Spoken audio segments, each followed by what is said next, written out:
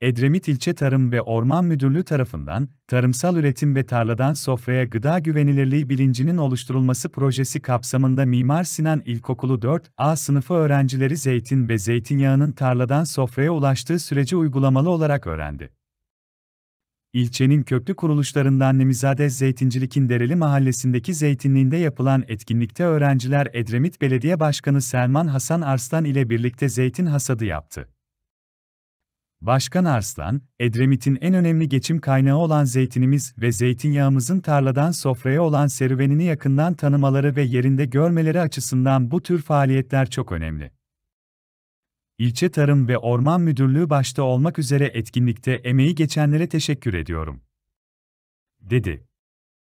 Etkinliğe Kaymakam Ahmet Odabaş, Edremit Belediye Başkanı Selman Hasan Arslan, Edremit İlçe Tarım ve Orman Müdürü Sabriye Akçay, Edremit Ziraat Odası Başkanı Ali Yılmaz Diker, İlemizade Zeytincilik sahibi Lütfü Muammer Alemoğlu da katılarak öğrencilerin sorularını yanıtladılar.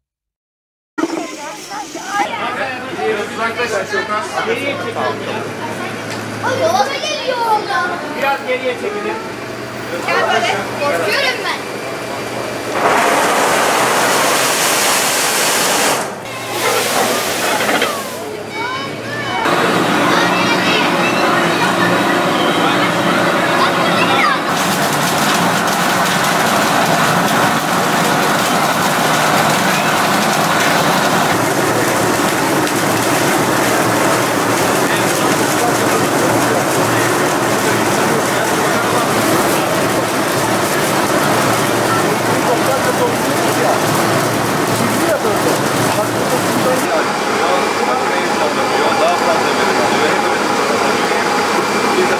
dağlar.